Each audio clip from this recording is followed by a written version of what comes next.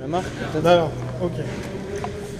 Donc, dans les nouveaux modèles, c'est surtout les nouveaux coloris qu'on va retrouver sur les Q-Live qui s'appellent les High Contrast.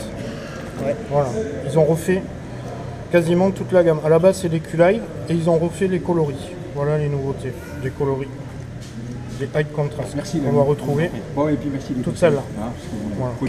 Ça, c'est une nouveauté. Après, on a les produits phares de la marque, c'est les euh, Q-Live Search 490, donc à billes. On va retrouver les modèles Shallow qu'on va reconnaître avec les yeux bleus.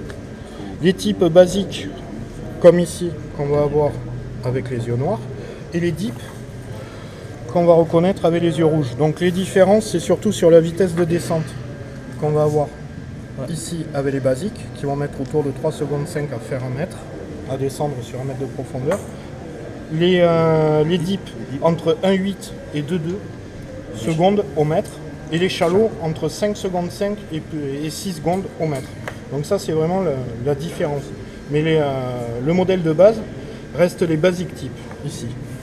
C'est celle qu'ils ont utilisées pour après calculer les vitesses de descente entre les dips et les shallows. Ok. Après, on va voir euh, les tout avec les nouveaux coloris qui sont sortis cette année en nouveauté. C'est qu'on va avoir vraiment des imitatives, type poisson. On a, je crois, 6 coloris naturels, des nouveautés. Les crevettes, elles sont parties. Alors là, il en manque parce que forcément, on en a vendu pas mal pendant l'animation. Donc ça, c'est la nouveauté au niveau des Toto Sud, les coloris.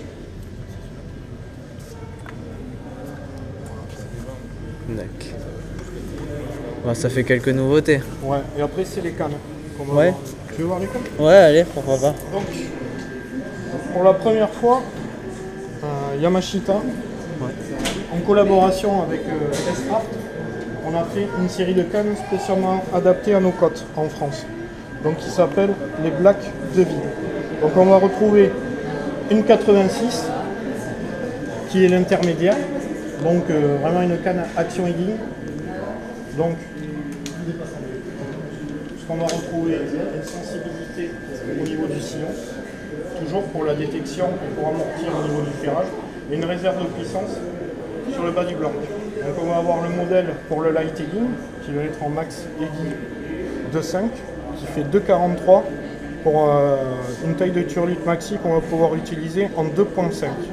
A l'inverse de la 86 qui est l'intermédiaire, on va avoir une taille de 2,59, c'est des cannes vraiment pour le bord, c'est qu'on va avoir un max aiguille de 3,5. Et il existe la 88 qui elle va être sur un- une taille de guille maximum de 4,5, donc beaucoup plus puissante. Et elle sera de la même taille mais en plus puissante. Voilà. Ça c'est la collaboration de la marque S-Craft et Yamashita. Donc canne aiguille pour le bord. Voilà nos nouveautés en.